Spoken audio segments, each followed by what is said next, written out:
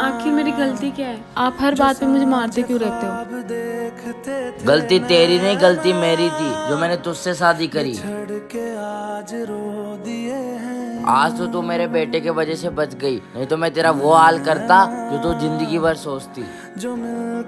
माधव कैसी चल रही है पढ़ाई? सही चल रही है। खाना खाया तूने? नहीं पापा बहुत भूख लग रही है। अच्छा नीबू? तूने अभी तक खाना नहीं डाला इसको? ठीक है अभी लेके आती हूँ। पापा आपसे एक बात पूछूँ? जब मेरी बहन की शादी के बाद उसका पति जब मेरी बहन को मारे था तो आप क्या तलोते ये क्या बोल रहा है तू? मैं उसको जान से मार दूँगा। पापा मम्मी भी तो किसी की बेटी है आप उनके साथ ऐसा तो करते हो।